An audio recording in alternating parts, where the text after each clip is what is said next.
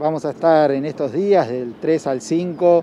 proponiéndole a todos los vecinos, a toda la comunidad de Almirante Brón y de la región, que se acerquen y que puedan vivir una experiencia muy interesante, que es el primer autocine científico del país. Esto está organizado por la Universidad Nacional de Guillermo Brown, en conjunto con el municipio de Almirante Brown, y vamos a estar pasando algunos documentales, algunas piezas cinematográficas que acercan la ciencia y la tecnología a nuestros vecinos. Estamos trabajando con, tanto con los protocolos tanto de la provincia como del municipio para actividades al aire libre,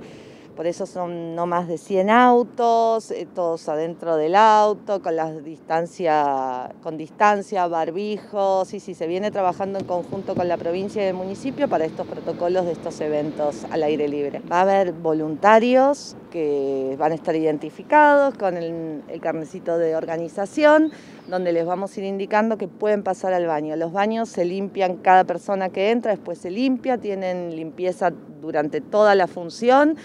hay cantidad suficiente para la gente que esperamos y nada, y obviamente el protocolo, cada uno tiene que cuidarse con su alcohol en gel, con su barbijo, tratar de, ser ordenado en ese sentido. Ya empieza a mirar.